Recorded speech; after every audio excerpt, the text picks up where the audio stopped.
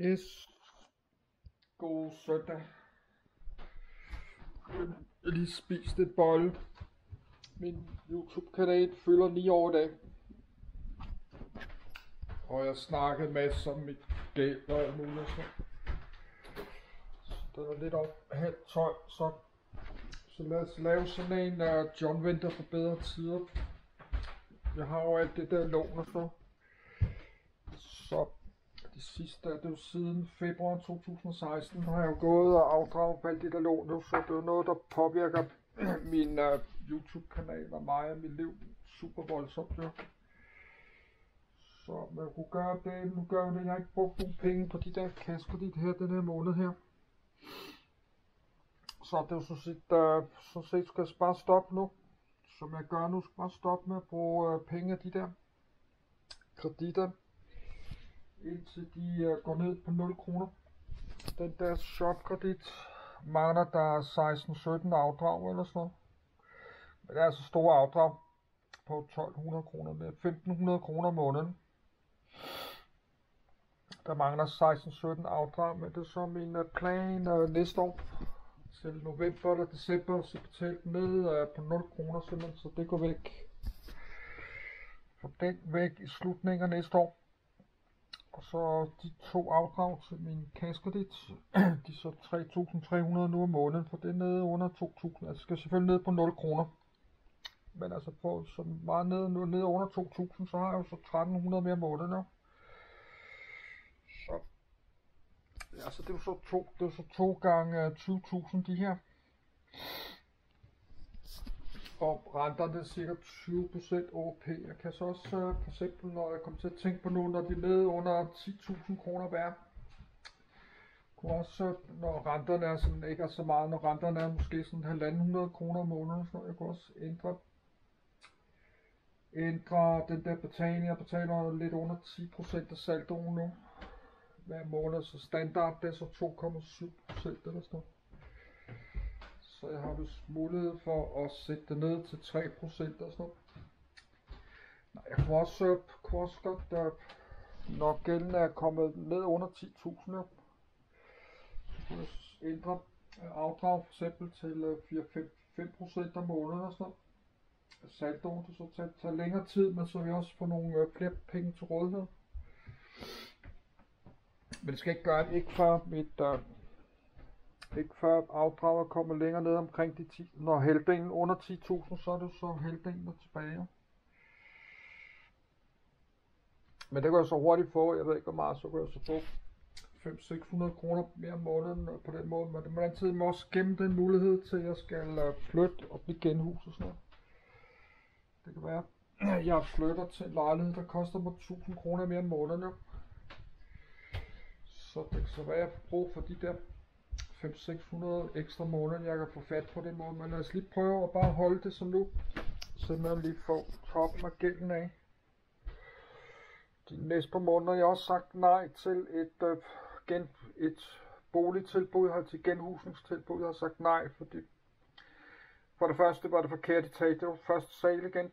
Og for det andet så er huslejen øh, med de det var så set den rigtige bolig, det var en rigtig bolig med forkert etage igen. Jeg kan godt prøve at komme op på lidt højere op på anden sal. Så plus er der så lang tid til, der er jo lang tid, det kan være først til sommer, jeg skal flytte sådan noget. Ellers kan jeg bare, jeg kan bare lade mig genhuse et år. Og så kan jeg jo så komme tilbage hertil til en husleje, der er stedet 40 procent, så jeg kommer alligevel til at, få en højere husleje her, men du så først om øh, over to år, to år eller sådan noget. Så altså min husleje her svarer jo sådan nærmest til en, øh, en stor etrumsbolig. Min husleje her er stadig under 5.000 om måneden. Sådan en øh, stor etværelses oppe i højhuset nu koster så 4.300 om måneden. Det er sådan øh, det er bare måske en lille smule mindre end min husleje. Så den sådan en etværelses lejlighed, den stiger altså også. Huslejen stiger jo en gang om året, så sætter de huslejen op 2,5 procent eller 2 procent eller sådan noget. Så man, øh, så huslejen kommer også til at stige der. Hurtigt kommer en husleje altså til at koste øh, omkring 5.000 om måneden øh, om på år. Sådan en øh, uh, etværelses lejlighed. Ja, det betyder så også, at så har en, der en toværelses, der koster mig 7.000 om måneden, så, så, går der ikke mange år, så koster den altså også 8-9.000 om måneden. Og jeg kommer på en lav øh, folkepension, som vågner om 10 år. Jeg skal lige puste min næse, for min næse drypper hele tiden. Jeg er tørstig hele tiden. Glemt at tage noget af rugbrød.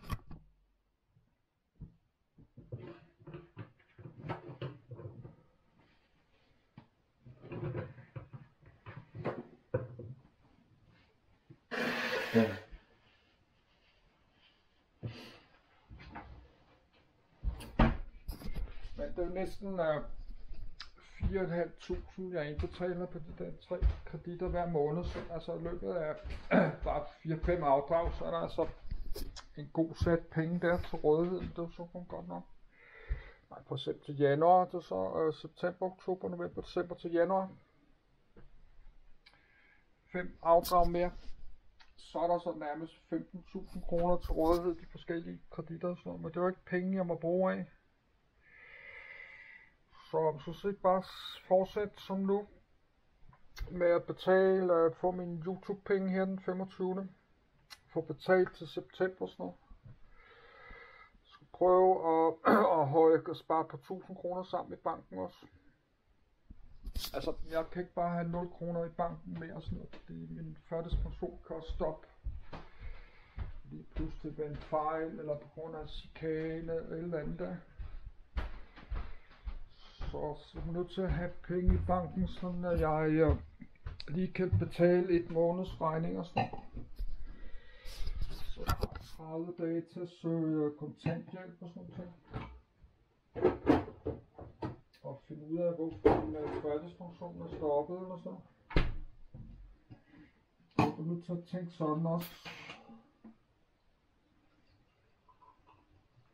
Så det er sådan 15-20.000, jeg skal have i bank, men jeg har ikke mulighed for at spare det op, fordi jeg har et kapital 6-7.000 kroner om måneden.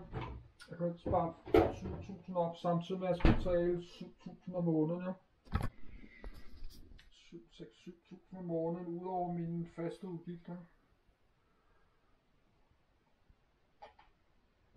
Så kan jeg jo ikke spare 2-3.000 op om måneden. Sådan men jeg bliver nødt til at gøre det alligevel.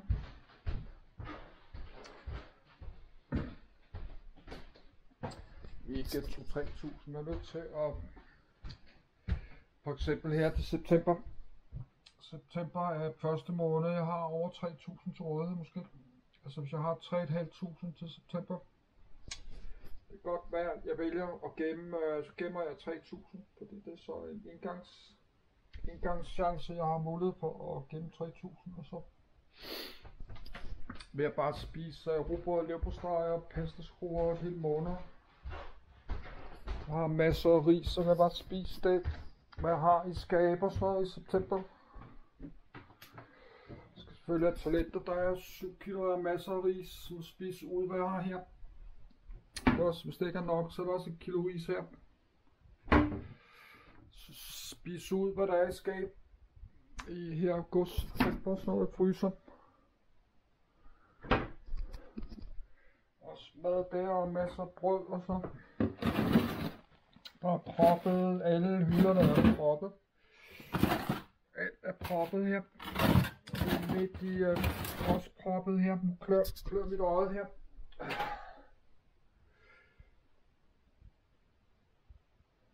Jeg skal lige lukke nu.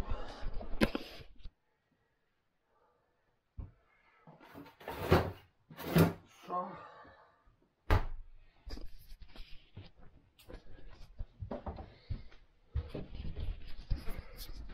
men at to, to kæmpe lån blev færdige.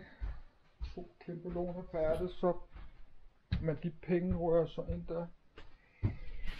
Så gider jeg godt lave noget andet noget video.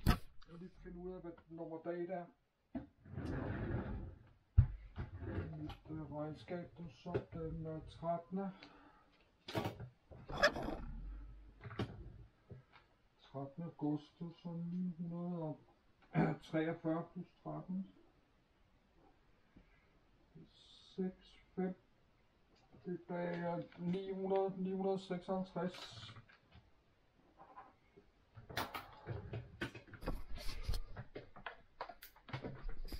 Nej, jeg skal bare fortsætte, fortsætte som nu med Alabama Pro at bruge penge på de der kaskedits.